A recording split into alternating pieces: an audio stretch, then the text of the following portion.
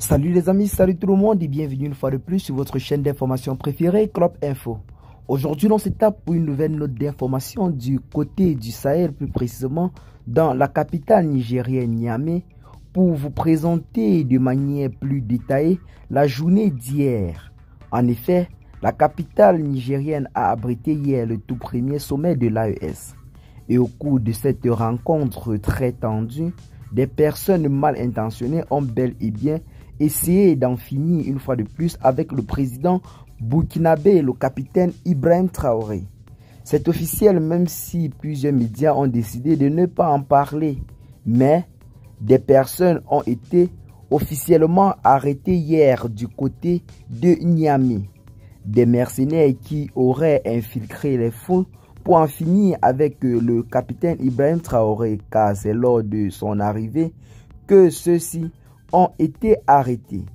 Comme vous pouvez clairement lire sur cette capture d'écran qui témoigne à suffisance sur la cible de ce coup, l'on voit que Assi News affirme que je cite Sommet de l'AS, trois mercenaires ont été arrêtés à Niamey.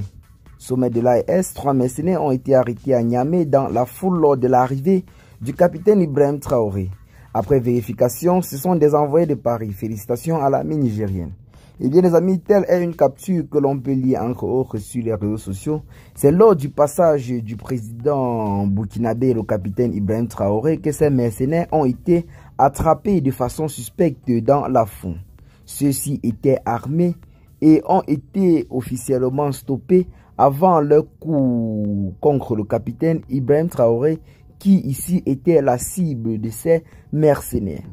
Eh bien les amis, telle est là en quelque sorte l'information du jour qui a échappé à plusieurs personnes qui se sont intéressées à la journée d'hier. Mais ces trois mercenaires sont entre les mains de l'armée nigérienne et seront traduits devant les autorités compétentes pour répondre en quelque sorte de leurs actes. Donc, euh, l'on ne comprend pas pourquoi, après tant d'années, c'est toujours des Africains qui sont employés pour euh, attenter des coups pareils contre leurs propres frères. Donc, euh, c'est en quelque sorte là l'information qui est n'a pas été beaucoup partagée sur les réseaux sociaux à cause des discours très très historiques que ont délivré les différents dirigeants de l'AES. Donc, euh, qu'est-ce que vous en pensez de cette situation du côté du, de Niamey? Partagez massivement la vidéo vos amis si vous l'avez trouvé intéressante. Abonnez-vous à la chaîne si ce n'est pas encore fait. Et à très bientôt pour de nouvelles notes d'informations. Bye bye.